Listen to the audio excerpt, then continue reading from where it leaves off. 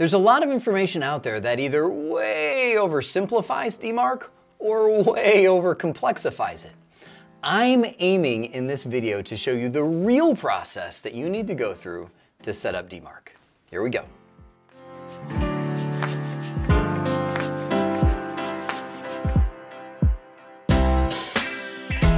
All right, let me walk through this process with you. Now remember, again, big picture, the goal is simple. Keep your eye on the prize.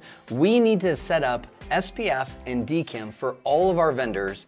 Then flip DMARC over to reject to eliminate any other source of sending emails on behalf of our domain. That's the whole goal of DMARC. Stop phishing, stop impersonation, right? So the challenge that you're gonna have in your real world business is who are the vendors? This is the number one challenge that everybody has with DMARC. Everybody being everybody that has a domain for any amount of time. Because over years and years and years of domains existing, Many departments in the organization, especially large organizations, have found their own vendors. So IT, completely divorced from that selection process, is pretty much just getting messages from other departments saying, hey, can you add this to the DNS header? We chose a vendor. And they're, they're like, oh, okay. And so years of that has happened. And those vendors have come and those vendors have gone.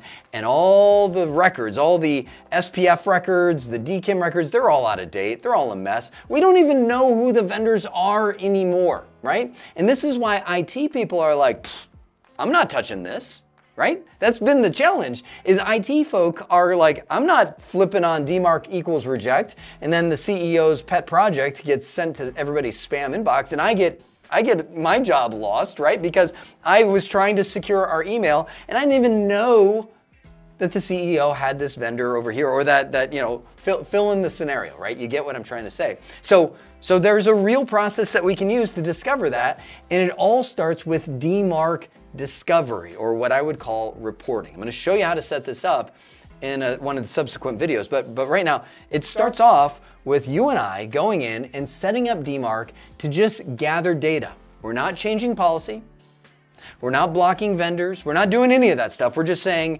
I want to see who is sending on behalf of this domain. And you let that run for 30 to 60 days. Why do you think we do that? That's a one to two month cycle. Usually, I mean, you might say, oh, I monitored for a week. Well, that's great. But what if the newsletter blast goes out every third week, right? You don't know the email trends right now of your organization if you haven't done DMARC before, so turn it on and start discovering what those are. When do we see these big blasts going out? Where are they coming from? What? I, I see this vendor sending on behalf of our domain, and that there becomes your, your, your joy right, in this process. Is like, okay, I see 15 vendors sending on behalf of our domain that I gathered in those 30 to 60, uh, 30 to 60 days, right? Who are those? And yes, a lot of times that means IT is now sending an email to the leaders of the different departments in an organization being like, here's a list of the vendors that we have sending email on your behalf. Is any of these yours? Please take responsibility for your vendors that are sending using our domain because we need to secure them, right? And I'm sure there's some, some uh, email logic that you can put, you know, some, some verbiage that you can use that, that sounds really good, right? Now, some of the challenges when you're doing this in this discovery reporting process, sometimes the vendor is using a third party. Like, let's just say there's a vendor using AWS to send email on your behalf, right? Now you're a needle in a haystack sometimes. You're like, uh, and so, so sometimes it, it's gonna take a little longer to try and discover where those are. Or you might start going with the date. And I, I don't mean to dive too far into this, but this is the major prohibitor. Like this is it that keeps DMARC from taking over the world is because you're like, I just saw we sent 200,000 emails on the 10th of July. Nobody knows who did that, right? And so the email may sound like, let me show you the graph. I saw 200,000 emails go out on the 10th of July.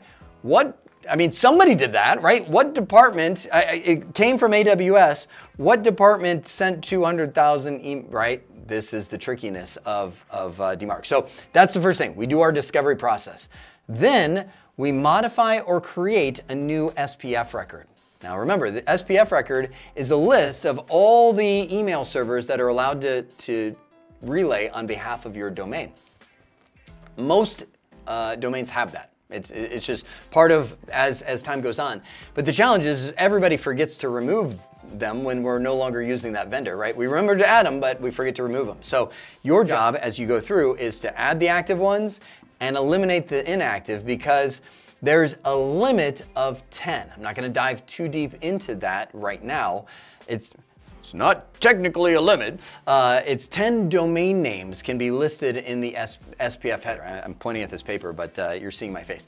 10 domain names. So in your SPF header, so you've got SPF equals, and, and you, you've got you know, server one, comma, server two, comma, server three, comma, et cetera, et cetera, et cetera, right? Uh, there's a list of 10 DNS names in here. There's unlimited IP addresses, and that's led to something called SPF flattening, uh, which is a bad practice, but I'm not even gonna get into that right now. Um, just, just for now, keep in mind, it's you, you create your SPF rate. I'm just going through the process, right?